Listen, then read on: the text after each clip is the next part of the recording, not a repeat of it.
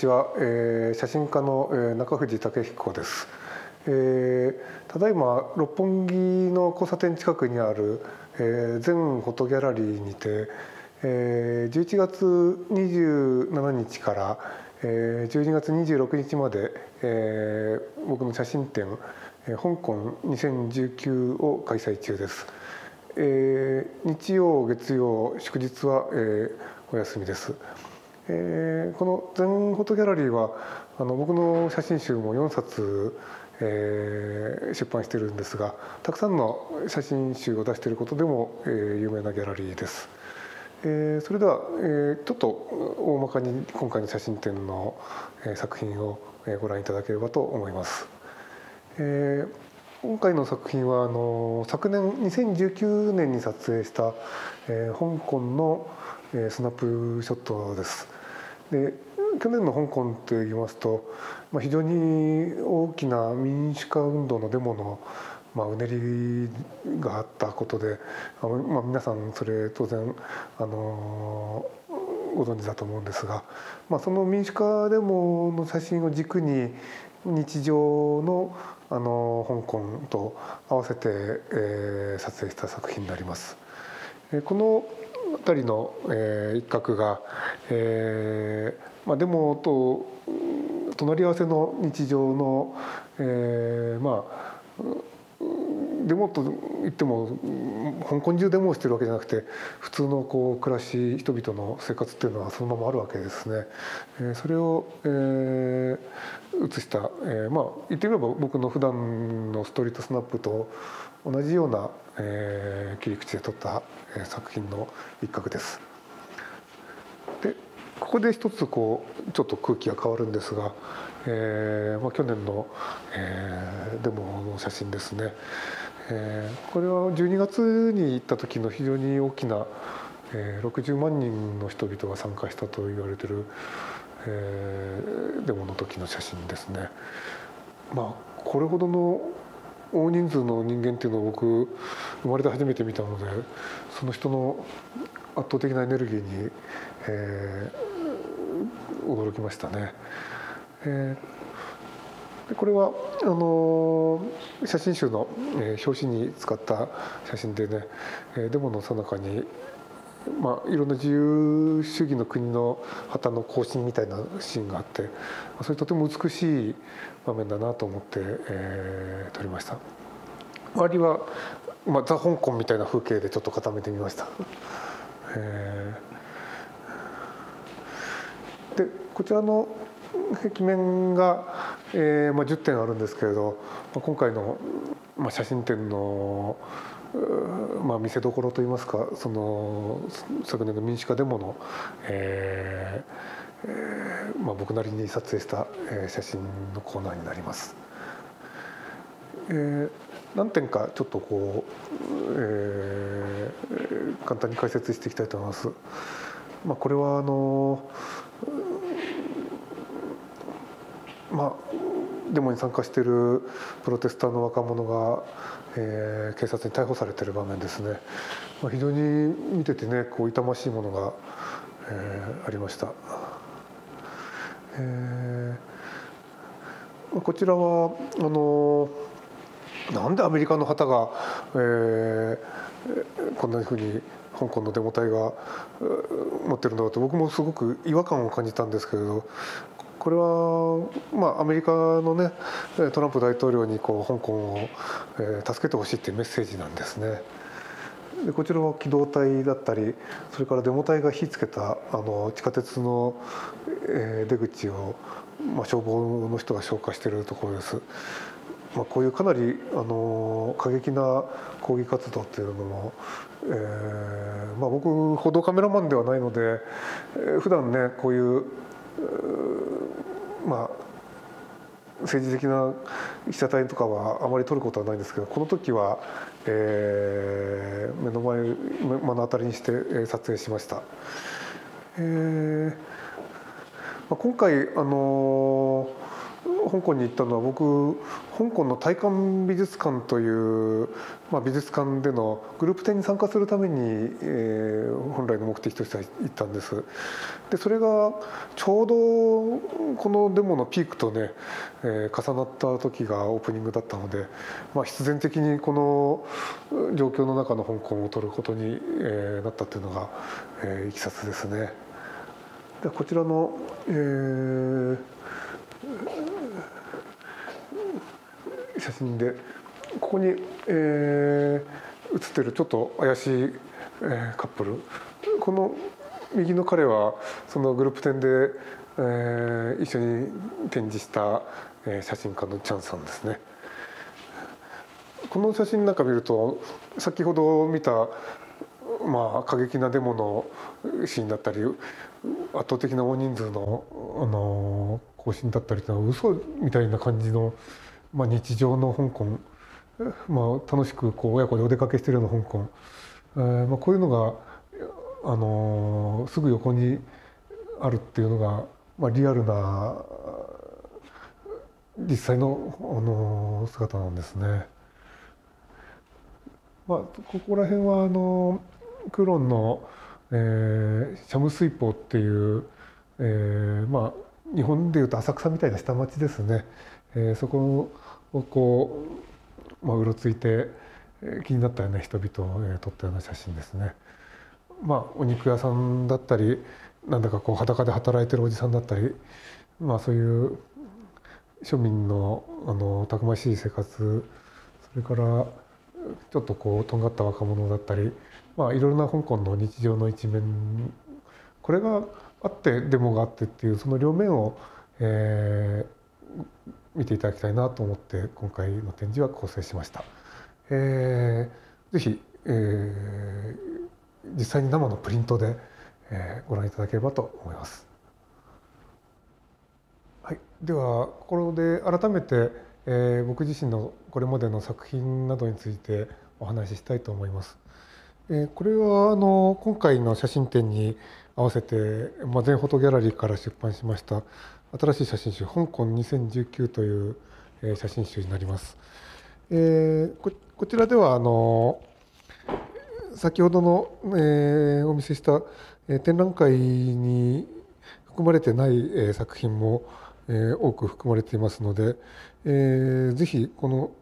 写真集の方もね、えー、合わせてご覧いただければと思います。えー、この写真集は100枚以上の、えー、写真集であ写真で、えー、構成されてますので、えー、見応えが、えー、あるのではないかというふうに思っております。でこの本、えまあ、2019というタイトルですけど、まあ、今年2020年に、えー、発表した本になるんですけど僕自身は初めての個展を開催したのが1900 95年なので、えー、まあそれをスタートとしますと25年ほどこういうストリートスナップの写真っていうのを撮り続けております。で僕が、まあ、写真の世界に入る、えー、最初のきっかけっていうのはあの音楽の方からだったんですね。えー、実は僕あのパンクロックの日本のあのロックにあの非常に関心を持ってまして当時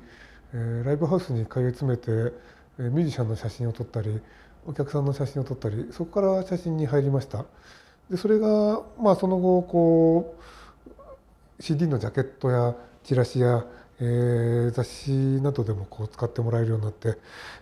これは「ゆらゆら帝国」っていうバンドなんですけど、あの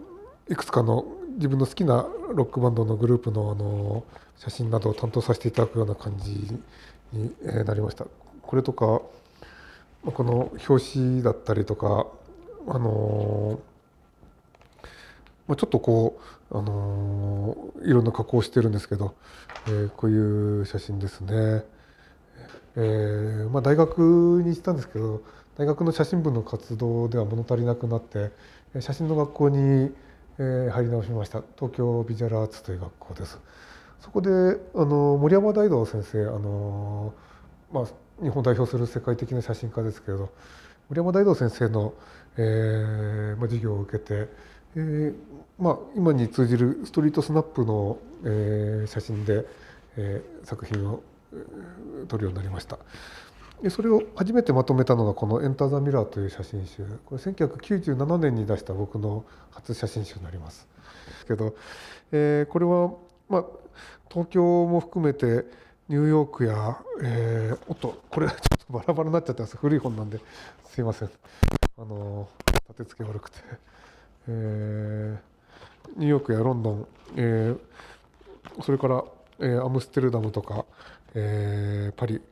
えー、もういろいろな世界の都市を、えー、と撮影してそれを場所と時間をバラバラにね、えー、して詰め込んだ写真集です。これ面白い面白いって言ったらですけど面白いのはこのニューヨークのねツインタワーあのテロで崩壊したタワーなんかが、えー、最初の、えー、写真集ですね「エンター・ザ・ミラー」という、えー、タイトルです。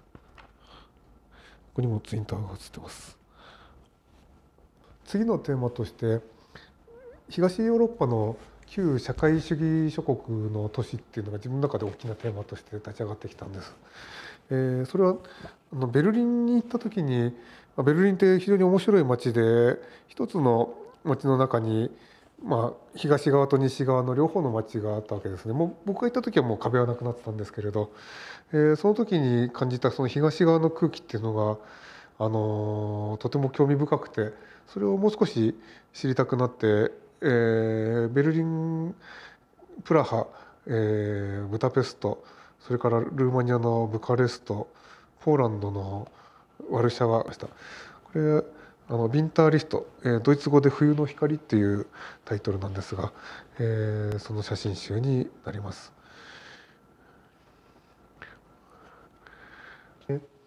で次にこのビンターリストの後に、えー、この写真集「ナイトクローラー」っていう写真集を出しました。えー、これはこの六本木の全フォトギャラリーが、えー、発売元になった、えー、写真集です。でこれ一つのあの箱の中に2冊の写真集を、えー、組にして、えー、入れてあります。で1995年これあの一番最初の僕の初個展をやった時の作品です。ナイトクローラー夜こう這いずり回るみたいなこうそんな意味合いのこう言葉ですけれど、えー、夜の東京あの徘徊して写した写真でこれが当時コニカプラザで「新しい写真家登場」っていう、まあ、そのままのベタなタイトルのあの公募展があったんですけどその時に新しい写真家として登場した15年経ってまとめたいと思って、えー、全フォトギャラリーで展示した時に、えこれを写真集にしようと思ったんですけどやっぱりそれだけではちょっとなんか後ろ振り向いてるだけだなと思って同じテーマで15年後を撮ろうという話になって2010年、えー、同じ夜の東京を、えー、今度はデジタルカメラで、えー、再度同じテーマで取り組んだのがこの2010年バージョンの方です。で先ほどのは当然フィルムで撮った写真なんですがこちらはデジタルカメラで撮ったそれをデジタルで再現したというまあ、それができるんだってことを確認できた、えー、写真集ですね。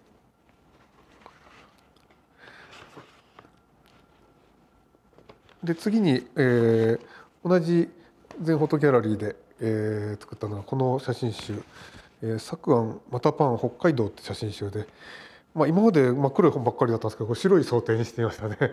えー、作りは同じような感じでこう一冊の2冊の写真集が1つの箱の中に入ってるって作りですね。でこれ「作がまたパン」ってなんだそれっていう言葉ですけどアイヌ語で「冬が来る夏が来る」というあのそれぞれの意味なんですね。であの北海道を、えー、撮った写真で今まで出した写真は、まあ、ストリートスナップの都市の風景それから人々の写真だったんですがこれはあのまあ、どちらかというとほとんどこう風景写真ランドスケープの写真です。僕はちょっと北海道には非常に思い入れがありまして、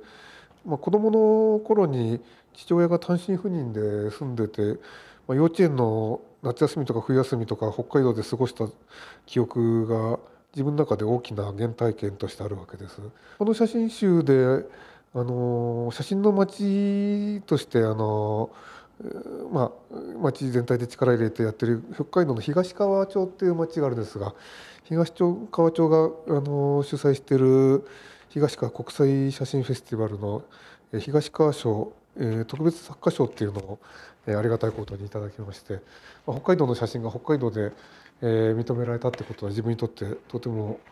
大きな、えー、嬉しい出来事でした。でこの次に、えー、僕パリであの写真の展示活動をあの継続的に行ってるんですけど